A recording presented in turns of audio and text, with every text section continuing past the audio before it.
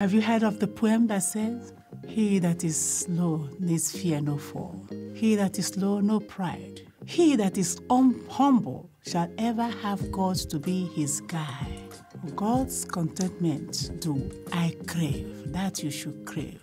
We seek contentment or happiness, but where you will get the real contentment Where? is when you are contented with God and you have to crave, for it is only God who can satisfy. Have anything ever satisfied you and lasted? Yeah. No, actually. Nothing for those who are in the Lord, because we are all made in image and likeness of God. And until we come to realize and align ourselves in that image and likeness of God, we can never be contented.